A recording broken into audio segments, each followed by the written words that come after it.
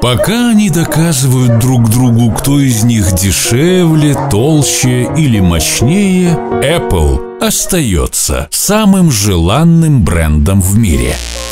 Официальные айфоны в цитрусе от 949 гривен в месяц.